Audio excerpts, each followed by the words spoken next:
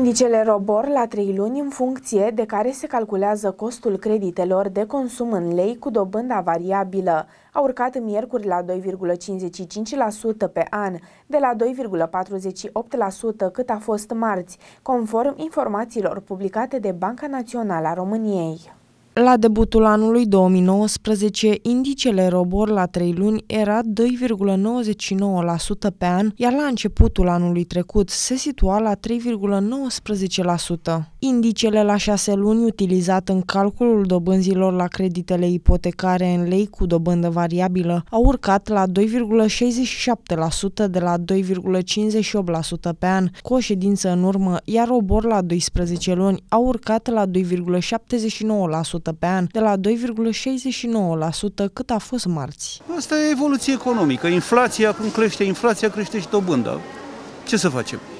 N-ai cum să te pui. Păi nu e bine.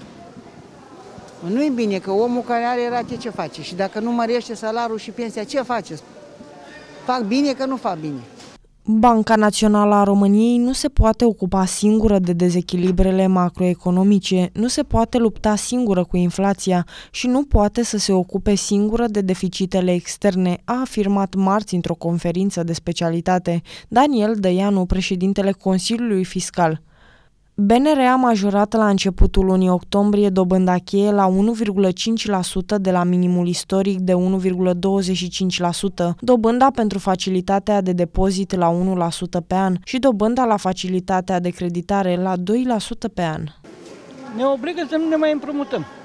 În luna mai 2019 a intrat în vigoare ordonanța de urgență care modifică modul în care este calculată rata pentru creditele în lei cu dobândă variabilă și a stabilit indicele de referință pentru creditele consumatorilor calculat trimestrial exclusiv pe baza tranzacțiilor interbancare.